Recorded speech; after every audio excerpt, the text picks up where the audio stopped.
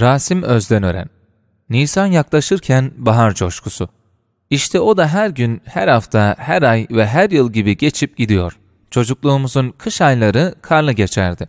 Şimdi daha çok yağmurlu. Neredeyse bütün ayların huyu değişti. Aralık bile yağmurlu. Ve yağmur da her zaman değil, aklına esince. Aralıkta kar yağmaya başlayınca durmadan yağar, yağar, yağardı. Ve neredeyse Nisan ayı gelinceye kadar kalkmazdı.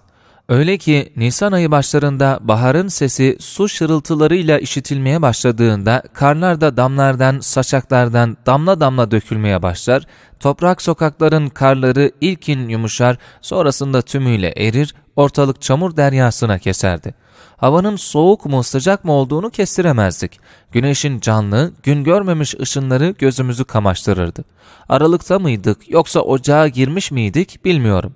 Ayakkabılarımız kar etkisiyle yıpranmasın diye onun üstüne lastik bir ayakkabı daha giydirirlerdi. Benim lastik ayakkabım bu oldu. Sanırım daha küçüğünü bulamadıkları için veya ayakkabım değişirse ona da uysun diye bu bol lastik ayakkabımın burnu topuğu çaputla beslenmişti. Bir cumartesi günü İstiklal Marşı töreninden sonra evlerimize dağıldık. Bizim ev okulumuza bir mahalle uzaktaydı. Malatya, Gazi İlkokulu. Biz Kerney'in alt taraflarında Saray Mahallesi'nde oturuyoruz. Eve geldiğimde ayakkabımın üstünde bulunması gereken koruyucu lastik ayakkabımın sağ teki ayağında yoktu.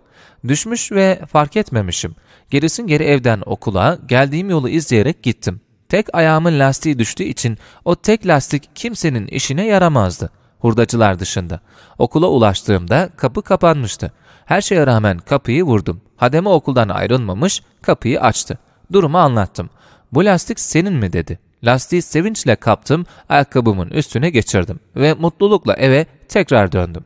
Şimdi ne böyle kışlar var ne böyle çocuğu yoran ayakkabı giyimleri. Eski kışlar ve eski yazlarda maziye karıştı.